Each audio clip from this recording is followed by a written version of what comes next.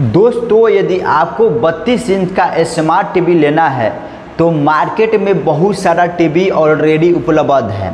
और मैंने बहुत सारा टीवी का रिव्यू भी किया है, अपने चैनल पर आप जाकर देख सकते हैं।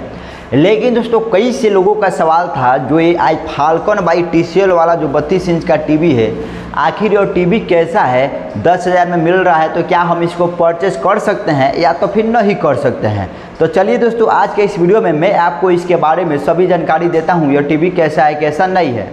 दोस्तों, सबसे पहले बात करेंगे इसके डिस्प्ले की। जैसे कि 32 इंच के टीवी में होता है तेरह सौ छाछठ गुड़े सात सौ अड़सठ वाला डिस्प्ले साथ ही में साठ हर्ज का रिफ्रेश रेट है, जो कि नॉर्मल सभी टीवी में होता ही है। लेकिन दोस्तों, जो इसका ब्राइटनेस है, काफ़ी ही ज़्यादा कम है। 260 नेट स्पीक ब्राइटनेस ही है। तो ब्राइटनेस थोड़ा कम है, मज़ा नहीं आएगा, लेकिन डिस्प्ले ठीक ठाक है, मज़ेदार है। दोस्तों, यह टीवी आपको out of box Android eleven पे देखने को मिलता है। यदि टीवी के तौर पे देखा जाए तो लेटेस्ट ही है। इसमें आपको आठ जी के इंटरनल स्टोरेज साथ ही में एक जी का रैम भी देखने को मिलता है। और मैं कहूँगा रैम स्टोरेज में भी ठीक है और एंड्रॉयड 11 भी ठीक ही ठाक है। इस टीवी में आपको 24 वाट के डॉल स्पीकर देखने को मिलता है। स्पीकर थोड़ा लाउडनेस है, लेकिन वहीं यदि 50 से ऊपर इसका वॉल्यूम ले जाएँगे तो काफ़ी ज़्यादा फटला फटला टाइप का आवाज़ आएगा। तो थोड़ा स्पीकर क्वालिटी उतना मज़ेदार भी नहीं है, लेकिन मैं कहूँगा ठीक ठाक है यार।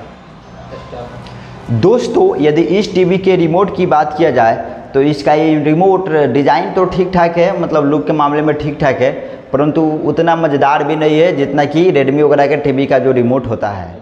यदि पोर्ट्स की बात किया जाए तो इस टीवी में आपको एक यूएसबी पोर्ट दो एचडीएमआई पोर्ट हेडफोन जैक ए वगैरह देखने को मिलता है। लेकिन दोस्तों पोर्ट्स के मामले में कमी किया गया है।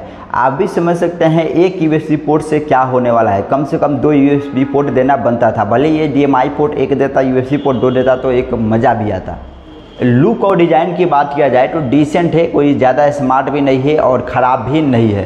अब दोस्तों अभी इसका प्राइस है पंचानवे सौ रुपये तो क्या ये पंचानवे सौ रुपये में ख़रीदने लायक है या तो फिर नहीं है? सबसे बड़ी बात तो यही है।